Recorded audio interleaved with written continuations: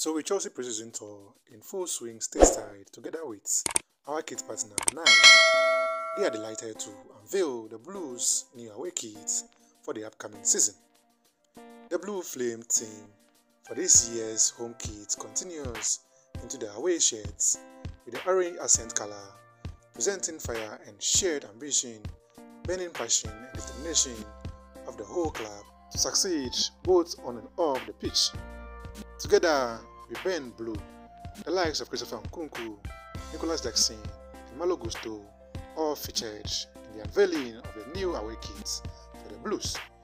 New signings Tosin Adarabioyo, Dewsbury Hall, and some players from the women's team squad also featured. Fellow Blues, what are your thoughts on the new away kits for the upcoming season? Kindly leave your thoughts below. Subscribe, like, and be here for more updates. Thanks for watching.